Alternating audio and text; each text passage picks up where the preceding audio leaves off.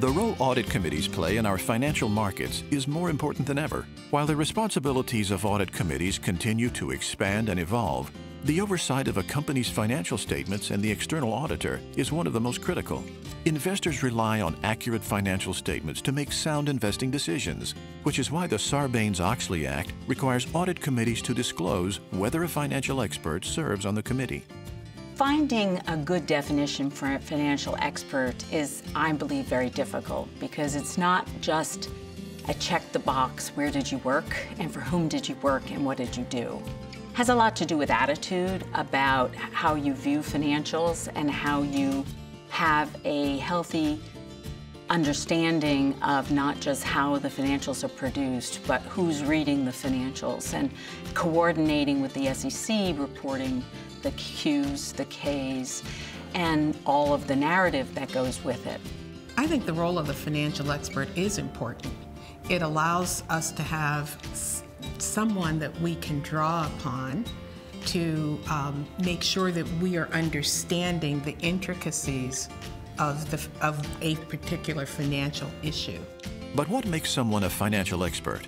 According to SEC rules, to qualify as an audit committee financial expert, a person must have, through education or experience, each of the following attributes. An understanding of generally accepted accounting principles and financial statements. The ability to assess the general application of such principles. Experience preparing, auditing, analyzing, or evaluating financial statements, or experience actively supervising one or more persons engaged in such activities. An understanding of internal controls and procedures for financial reporting.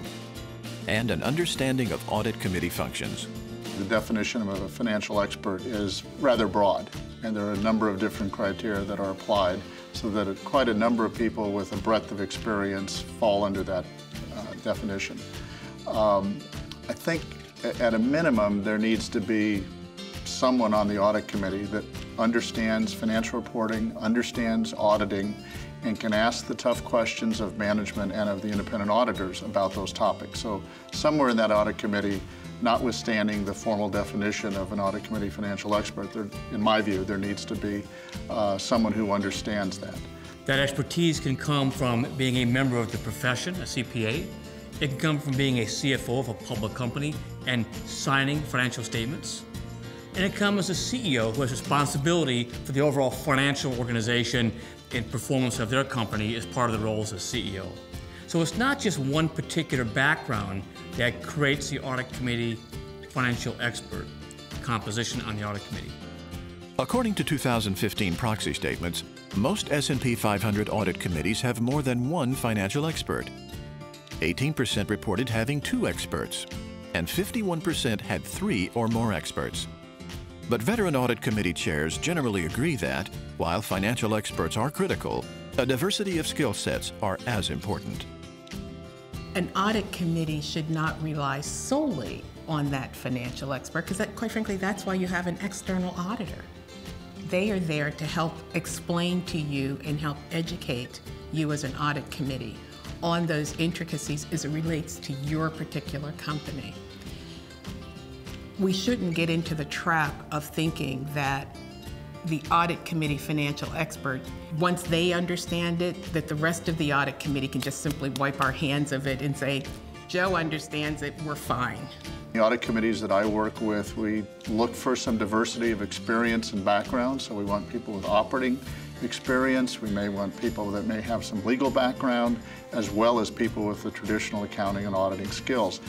You'll get a completely different set of questions from people that come from those different perspectives, and that makes for a richer uh, and I think a more full uh, uh, effort by the audit committee to do our job. I think it's a function of uh, oftentimes how well you know the industry and from that, you will have an understanding of what the critical judgments and estimates are, and you'll even have an intuitive sense of what an acceptable range of assumptions and methodology and, and rationale. I may be in a, a, little bit different camp than many. I think it's the ability to ask, to listen to complex areas, distill them down in your own mind, and then ask the right question. The question that ultimately gets to the heart of the issue.